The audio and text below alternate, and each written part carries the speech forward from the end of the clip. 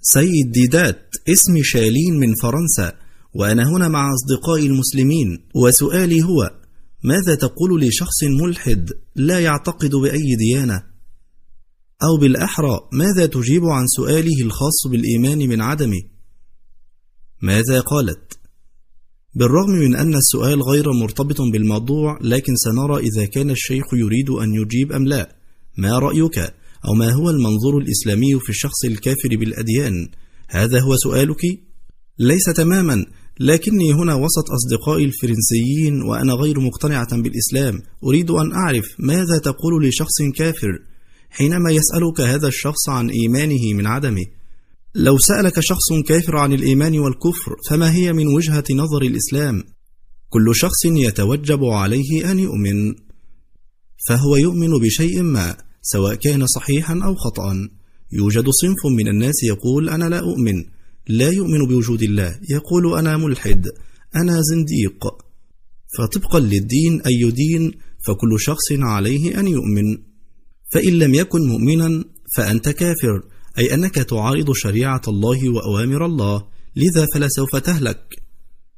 هذا الشخص الذي يقول بأنه لا يوجد إله فلسوف يهلك.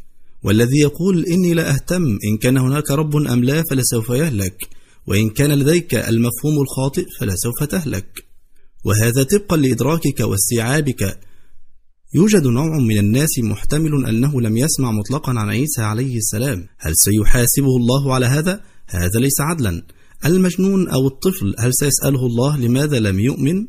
كلا هل سيسأله الله لماذا لم تؤمن بمحمد؟ بالطبع لا فكل شخص سيتم حسابه طبقا لفهمه وفرصته وهل إن كانت الدعوة وصلت إليه أو لا؟ فبمجرد ما تصل إليه الرسالة ويكون بمقدورك أن ترى الحق.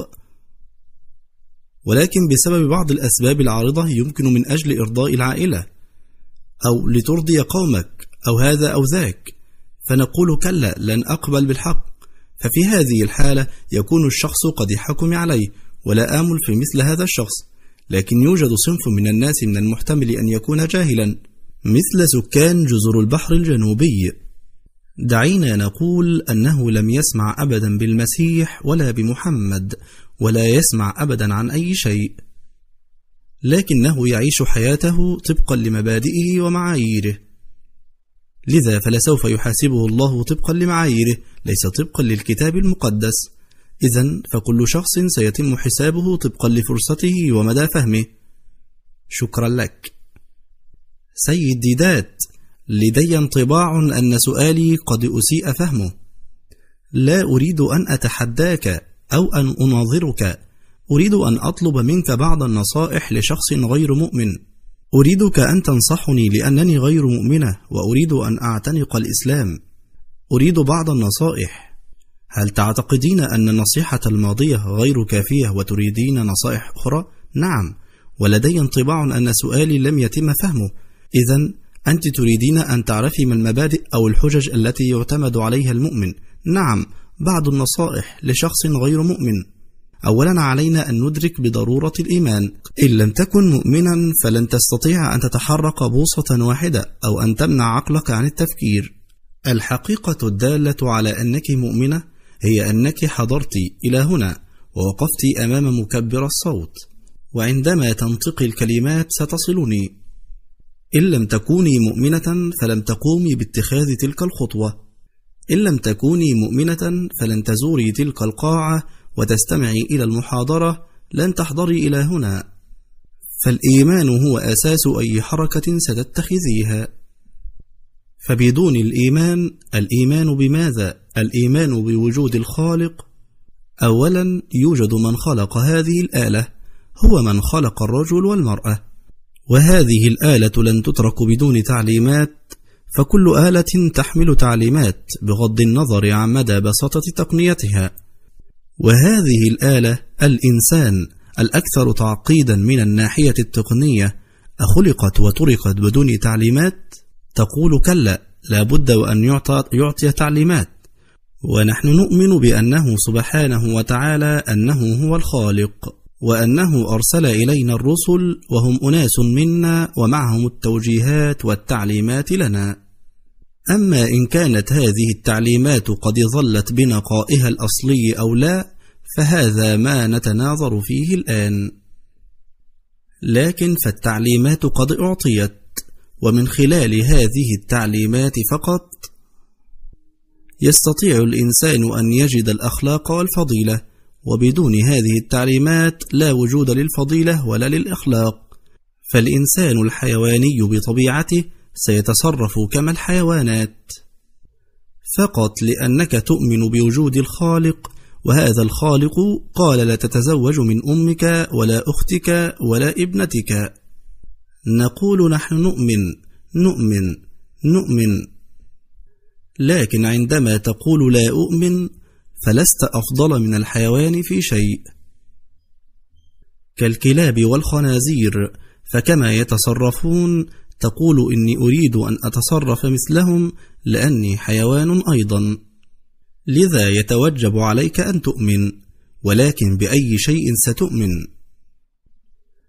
أين هو مصدر الإيمان أو كتيب التعليمات الذي لم يتم تلويثه وإفساده؟ في الأصل نقول إن كل الأنبياء الله ورسله مكلفون من الله سبحانه وتعالى ولكن لأن الرسالة لم تحفظ أرسل الله الرسل تلو الرسل. وهذه هي طريقته ليقوم خلقه ويعيدهم إلى الطريق المستقيم. وفي هذا النظام المتتبع من إرسال الرسل للبشرية فمحمد هو الخاتم والمكمل. وقد ترك لنا هذا الكتاب وإن قرأتيه فبنظرة غير متحيزة. وإن لم يكن لديك نسخة منه سأهديك نسخة. هذه هي النسخة المترجمة للإنجليزية من القرآن وبها فهرس سيساعدك في معرفة ما تريدين. تريدين أن تعرفي عن الله انظري في حرف الجي. وستجدي أكثر من 140 مرجعا مختلفا. تقولين أنك لا تستطيعين أن تؤمني بالله لذا فهو يتجادل معك. هذا الرب في القرآن لا يقول أنه سيلوي أذنك ولن يضربك بالرصاص. كلا.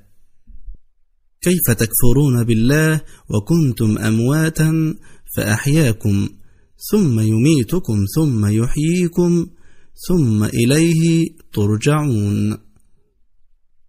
فإن بدأت بالاستنتاج سترين مدى صدق العبارات. أنك لم تكوني موجودة أنا وأنت وجميعنا لم يكن لنا وجود. وسيخبرك العلماء أن هذه الأرض كانت عبارة عن كتلة.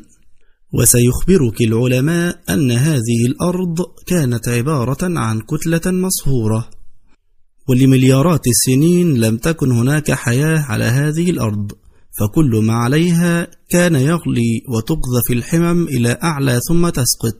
وبعد ملايين السنين بدأت تبرم وأخذت الحياة تنشأ. لذا فقد كان هناك وقت حيث لم يكن للإنسان وجود ثم أوجده الله والآن ستموتين ولكنها ليست النهاية. فيوجد شيء ما بداخلك غير الجسد هو أنت الحقيقة وأنت الحقيقة هي التي تحرك جسدك وهي التي ستجعلك تحاسبين على أفعالك. هذا شيء بديهي. مثلا هتلر لقد هرب بما اقترف لقد أحرق ستة ملايين يهودي وقتل أربعة عشر مليون شخص في الحرب العالمية الثانية هل سينجو بفعلته؟ هل انتهى الأمر لأنك لا تؤمن بالحياة الآخرة؟ كلا لسوف يحاسب على أفعاله وجميعنا كذلك إنه لتسلسل طبيعي لتصرفاتنا واتجاهاتنا.